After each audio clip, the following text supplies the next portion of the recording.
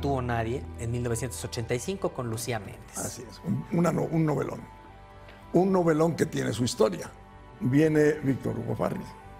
Me dice, dice, mira Andrés, me dijo Azcárraga que el único que puede salvar esa novela eres tú.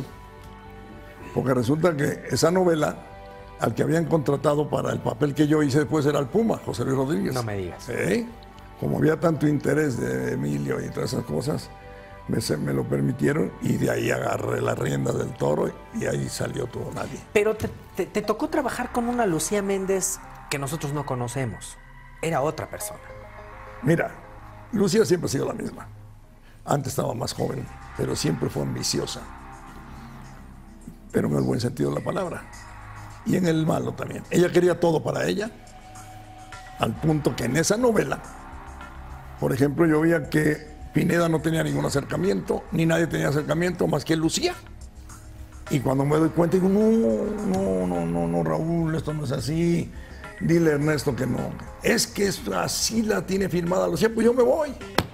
O sea, te refieres, no había close-ups No había nadie. más que para Lucía. No, bueno.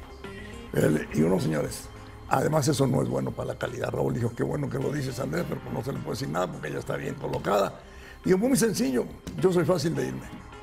Me da mis close-up para Pineda, para mí, para los que son buenos actores, pues yo me voy y pongan otro. Cuando se lo dijeron a Emilio, dije, déjenle ese cabrón lo que quieran, porque se va. Y empieza a mejorar la novela. A Lucía no le pareció, pues tuvo que aguantar. Pero lo que te quiero decir es que ella siempre fue ambiciosa y muy estudiosa. Verás, esa novela la había preparado ella y la había preparado muy bien. Tu relación con ella fue buena en Muy ese buena, momento. fue buena, fue porque buena, porque, incluso se eh, hablaba de un romance. ¿Eh?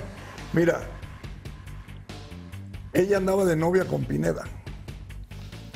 Sin embargo, por ahí sucedió algo curioso, que me lo dijo mi mujer, Sonia Infante. Dice, ¿qué crees, Andrés? Me dice Lucía que tú le gustas y que te va a seducir y que te va que me está avisando. Lo dijo así en mi cara. Digo, no, pues qué calzones trae le dije. Pues a ver cómo nos va en el camino, ¿no? Dijo, dice Sonia, mira, si te gusta más que yo, pues ahí la dejamos. Le dije, no la he probado todavía, luego hablamos. Lo demás es lo de menos. Lo demás es lo de menos. Y Sandra Vidal protagonizan polémicas escenas. A pastelazos y proliferando toda clase de insultos. Así son las nuevas imágenes del reality